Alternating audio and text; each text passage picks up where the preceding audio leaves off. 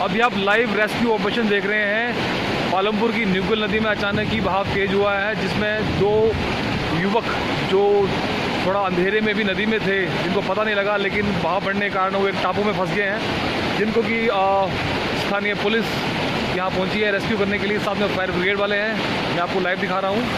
सारी टीम यहाँ पे है, ये पानी का बहाव जो है, ये चला हुआ है। और ये दो सामने युवक हैं, ये आप देख सकते हैं इनको।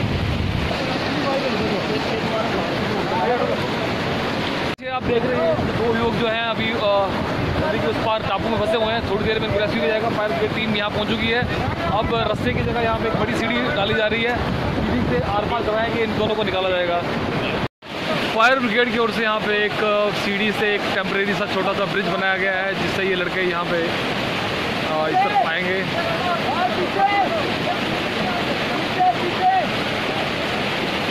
ऑपरेशन यहाँ पे जारी है। फायर ब्रिगेड की तरफ़ से यहाँ पे सीढ़ी मंगाई गई है। आप देख सकते हैं, ये सीढ़ी है। सीढ़ी में ये चढ़ के आएँगे। फायर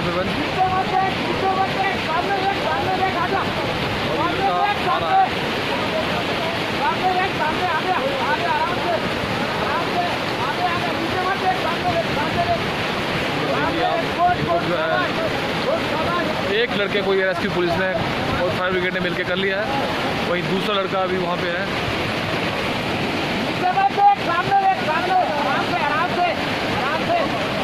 और ये दूसरा लड़का जो रह गया था पीछे, वो भी रेस्क्यू हो रहा है। आधे ब्रिज तक पहुँच गया है। देखिए आप। दोनों को आखिर बचा लिया गया।